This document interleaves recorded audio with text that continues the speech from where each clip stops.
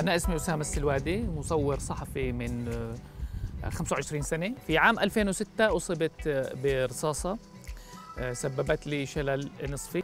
بعد هذه الإصابة صار عندي تحول مهني فانتقلت من العمل الإخباري إلى العمل التوثيقي.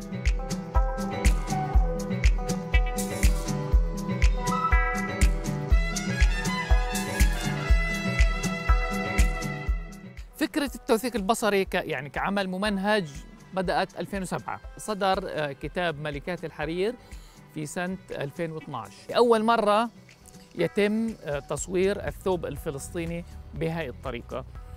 تميز هذا المشروع بجمالياته المختلفة. جمال المكان وجمال الإنسان وجمال المنتج نفسه.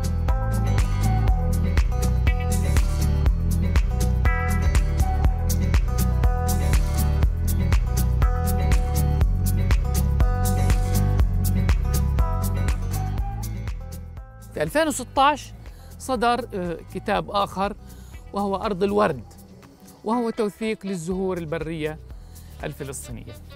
استغرق حوالي خمس سنوات.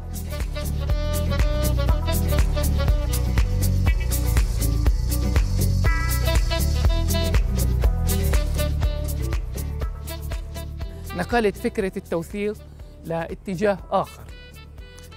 التوثيق من خلال الصورة هو حاليا اللي يعني خلى التراث الفلسطيني يرجع للواجهة.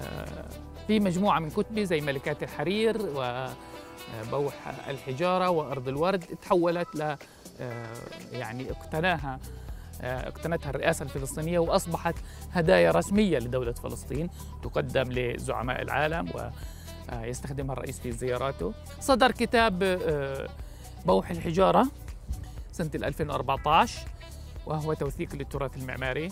كعمل بصري هو كمان كان الأول حتى أنه أصبح مرجع في عديد من الجامعات. وذهبت وحاضرت لطلاب كليات الهندسة في جامعات فلسطينية حول أهمية توثيق التراث المعماري.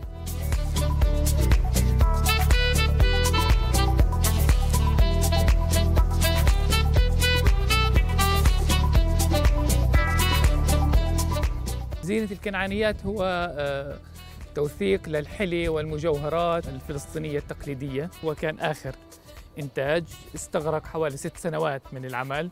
استهلكني شوي لأنه كان في صعوبة في توفير القطع لتصويرها. بقدر أقول لك أنه هو الكتاب الوحيد اللي بيحكي عن الحلي والمجوهرات الفلسطينية التقليدية.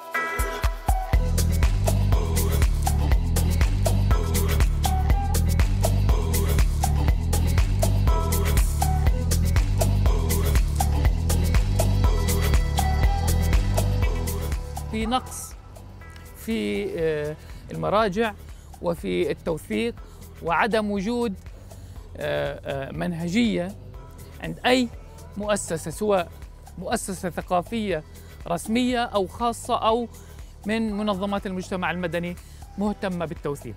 اشتغال عدد كبير من المصورين في موضوع توثيق الأزياء، هو خطوة إيجابية بكل الأحوال، ولكن أنا في عندي شعار دائما إنه الكاميرا سلاح. وإذا لم يكن خلف العدسة عين مثقفة يصبح سلاح ضدك وليس لك. أؤمن بأن